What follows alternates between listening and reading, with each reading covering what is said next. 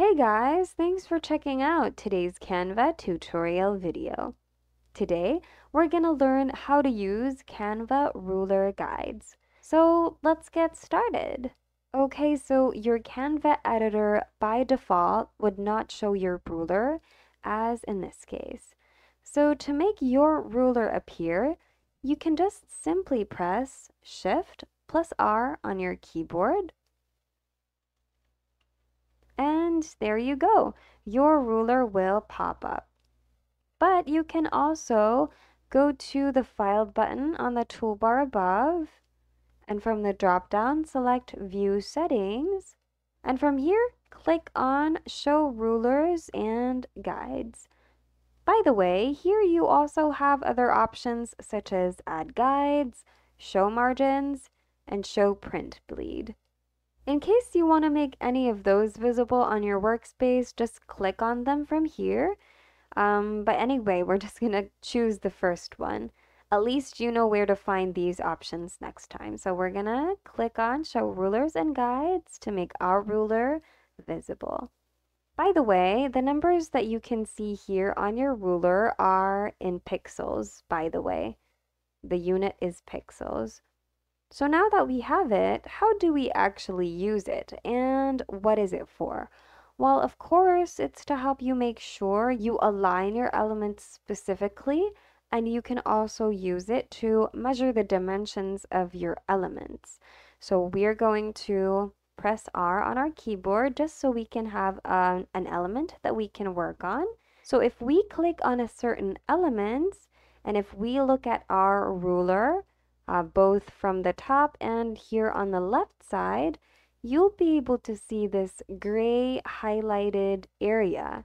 So those um, areas indicate the dimensions of your element in width and in height. So whatever element you click on, you'll be able to see the gray area over here, which corresponds to your elements or to your selected elements dimensions.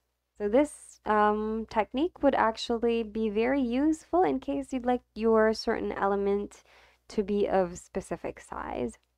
Okay, we're going to delete this one now. So what about guides? If you want to add some guidelines to your design, then you can find that option still on the uh, Files button, View Settings, and over here from the drop-down, you've got Add Guides. But if you like, you can also just um, go back to your page, right-click on an empty area in your design, and from the drop-down, select Guides. From here, you have two options, and that is to either add horizontal guide and add vertical guide. So let's try to add a horizontal guide first. So if we click on it, our horizontal guide will appear. And as you can see, we can actually drag this line wherever we want to place it. So go ahead and place it um, wherever you want to place it. And you can use your rulers as your guide as well. Now let's try to add a vertical guide this time. So we are going to right click again, go to guides. Oh, and by the way, since we already added our first guide and we're about to add our second guide, we're actually seeing more options here from the drop down. So additional, um, additional Options include clear guides. Uh, this is what you want to click on if you want to clear all of your guidelines. Next, you've got lock guides.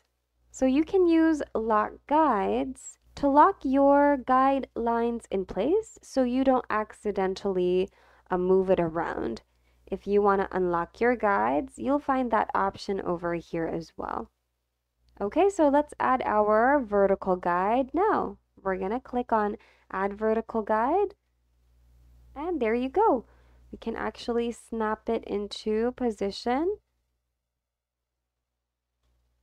You can also zoom in to get um, a more precise positioning. And there you go. Let's add one more. So guides, horizontal guide.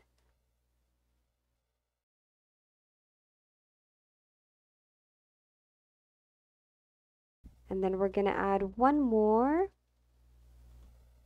vertical guide.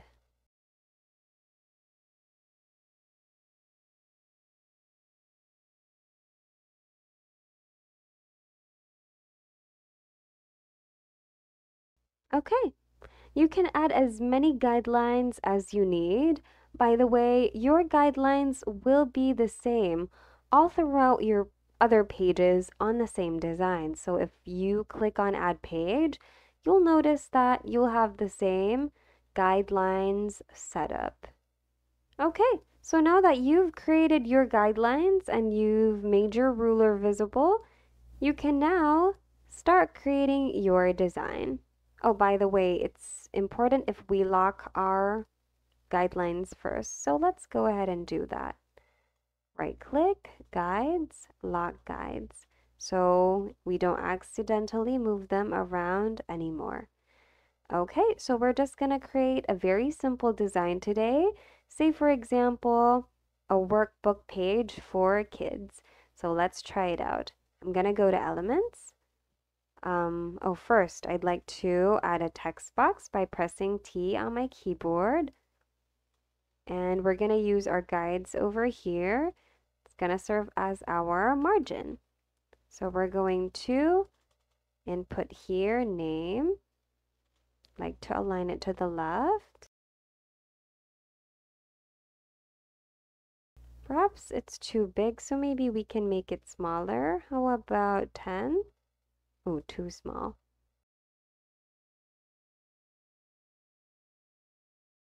Okay, and I'd like to duplicate this one, place the other one over here, and have this one say date instead. Okay, and now we can add another text box. Um, make this 15 as well. And place instructions over here. Perhaps we can turn it to bold. This one as well, turn it to bold, as well as this one. Okay, we're to add another text box. Make, make this um, 14, I guess. Extend it over here and make sure it's aligned to the left. There you go. Match the um, items from column A to column B. Move that there, okay. So now I'd like to add another text box that's T on your keyboard. And I'd like to add the letter A over here. Make it bold and then increase its size to about 25. So this will be column A over here. I'm going to duplicate this one and place column B somewhere over here. I'm going to select both of them and I'm going to position them to the middle. Now I'd like to add, oops, I'd like to duplicate this one. This one would be letter, I mean number one, I'm sorry.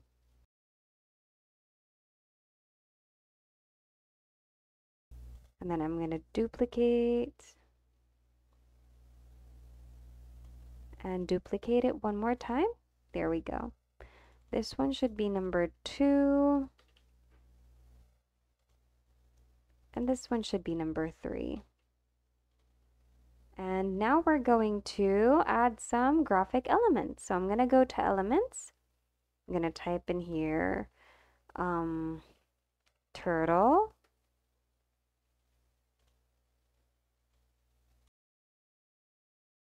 I'm going to type in here dinosaur.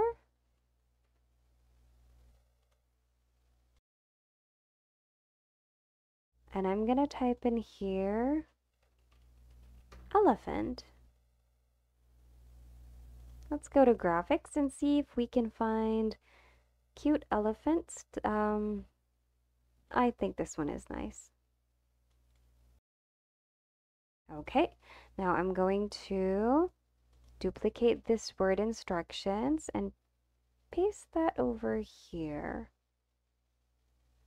Okay, so this one should be, oh, I'm just going to add a bullet first. So Alt 7 and then this one should be elephant. Oops.